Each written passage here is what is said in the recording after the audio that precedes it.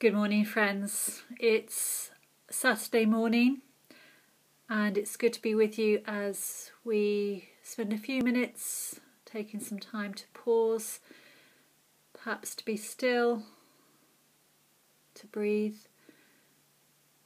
as we turn to God in prayer for ourselves and others at the start of this weekend. These prayers that I'm using today are appropriate for any time of the day. And so if you are uh, coming to this later on, they're still relevant and you can even return to them later on if you wish. This is prayer for the day on Saturday, the 27th of June. As always, there are subtitles if those help you. The opening responses. O God, make speed to save us. O Lord, make haste to help us. Your love, O Lord, reaches to the heavens, and your faithfulness to the clouds.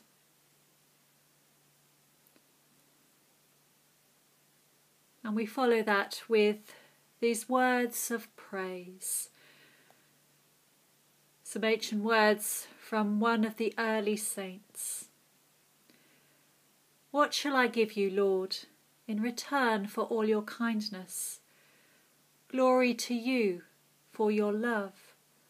Glory to you for your patience. Glory to you for forgiving us all our sins. Glory to you for coming to save our souls. Glory to you for your incarnation in the Virgin's womb. Glory to you for your bonds. Glory to you for receiving the cut of the lash. Glory to you for accepting mockery. Glory to you for your crucifixion. Glory to you for your burial. Glory to you for your resurrection. Glory to you that you were preached to all. Glory to you in whom they believed.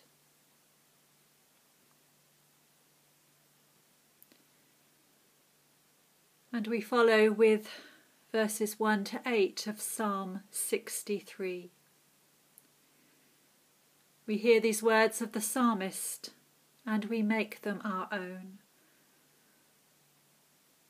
O God, you are my God. Eagerly I seek you. My soul is athirst for you. My flesh also faints for you, as in a dry and thirsty land where there is no water. So would I gaze upon you in your holy place, that I might behold your power and your glory. Your loving kindness is better than life itself, and so my lips shall praise you.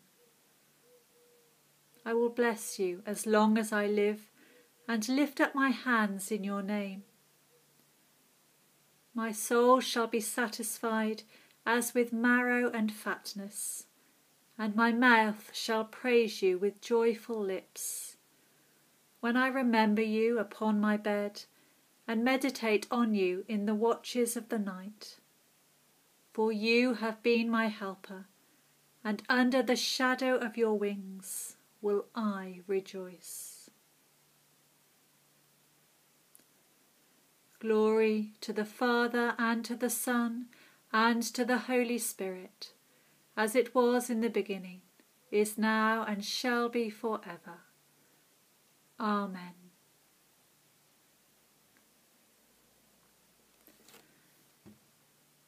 And as we pray throughout these days, some words of St. Paul from 2 Corinthians chapter 4 for us to reflect upon and to chew over. We look not at what can be seen, but at what cannot be seen. For what can be seen is temporary, but what cannot be seen is eternal.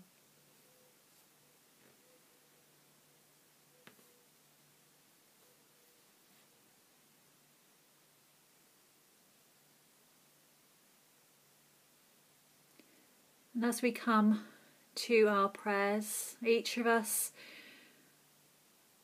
having things on our hearts and minds that are known by God. I'm going to use some simple phrases, and if you wish, you can respond to them with the words, We pray to you, O Lord. And so, to these responses today, as part of our prayer, you can respond, We pray to you, O Lord. That this day may be holy, good, and joyful. We pray to you, O Lord, that we may offer to you our worship and our work. We pray to you, O Lord, that we may strive for the well-being of all creation. We pray to you, O Lord that in the pleasures and pains of life we may know the love of Christ and be thankful. We pray to you, O Lord, that we may be bound together by your Holy Spirit in communion with all your saints, entrusting one another and all our life to Christ we pray to you, O Lord.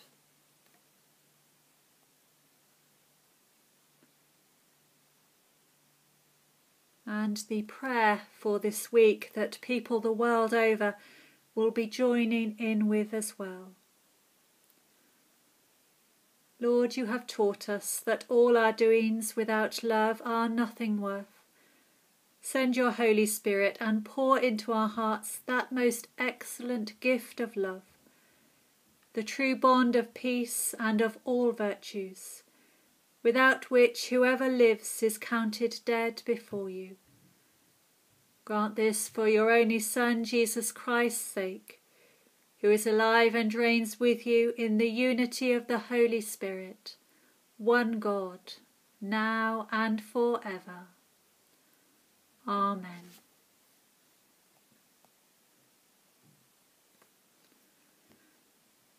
And so let us also pray with confidence as our Saviour has taught us. Our Father who art in heaven, hallowed be thy name. Thy kingdom come, thy will be done, on earth as it is in heaven. Give us this day our daily bread and forgive us our trespasses, as we forgive those who trespass against us. And lead us not into temptation, but deliver us from evil. For thine is the kingdom, the power, and the glory, for ever and ever. Amen.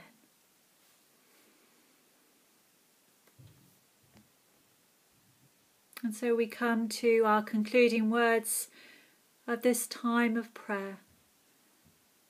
But we take these words with us, that call to keep our eyes open, our spirit attuned to those things that might be unseen but yet are eternal. Knowing that God goes with us throughout this day. And so may Christ dwell in our hearts by faith. Amen.